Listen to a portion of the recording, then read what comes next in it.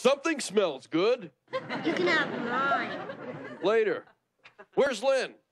Mm, she's changing. Why? You'll find out in a minute. Lynn! Yeah? Got something for you. Meet me in the garage. Bye. What has he done? Maybe nothing. Maybe. What's going on? Alf? Out here. I've got a surprise for you. What is it? I'll give you a hint.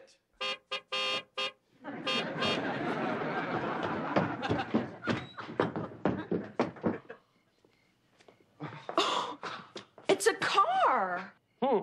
You didn't need a hint.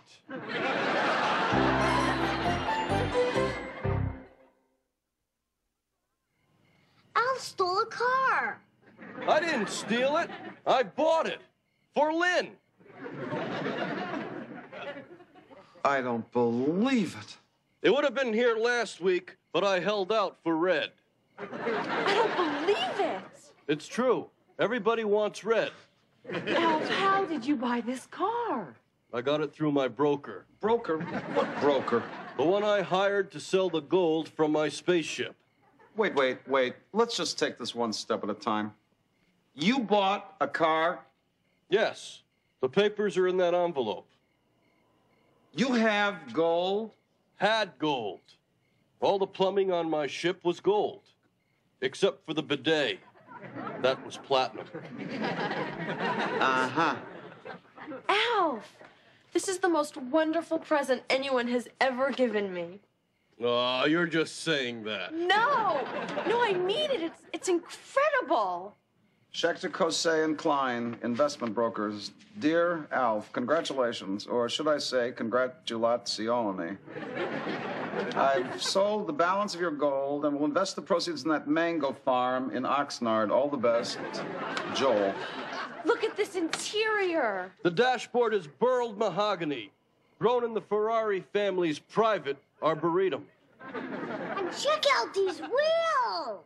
Chrome from Rome. Oh, feel this leather. Virgin ox.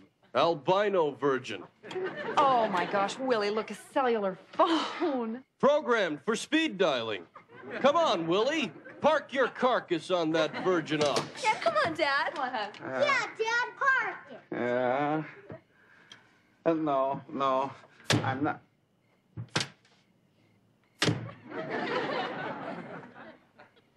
I'm not getting in that car. I can't. Alf, we're not keeping the car. What? Why not, Dad? Yeah, Willie. How come? Because it's wrong. Because it's wrong.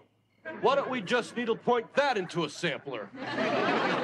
Look, we're not keeping a car that costs sixty thousand. 90. Ninety.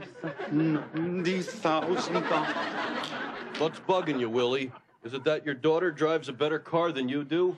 That has nothing to do with it. We are returning this car. Call Joel. I can't. He's in Palm Springs till Thursday. Dad, please. I'll let you drive my car anytime you want. You want to see how the Gucci airbag works? It's obvious you cannot have a rational conversation in the presence of a Ferrari. All right. We'll go into the kitchen. No, we'll go into the kitchen. You stay here. Come on, Lynn. Don't touch that airbag. Fine.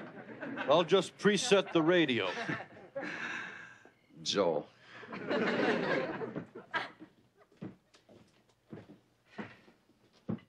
I know what you're thinking. I'm the ogre. I'm the wet blanket. Willie, no one is thinking that. I am. Me too. I see.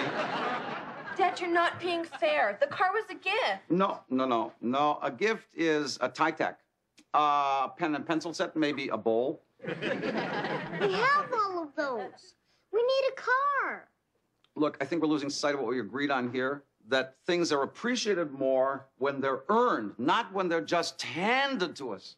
There's no way I could appreciate this more. I'm sorry, Lynn. I'm sorry. I just don't think that a 16 year old girl should have a $90,000 Ferrari unless she's a professional tennis player. I'm not above taking tennis lessons. I don't think that's what your father meant. I'm afraid the car is going back. This is insane. We're actually going to give back a free Ferrari. Yes, we are. First thing tomorrow. But Joe's in Palm Springs.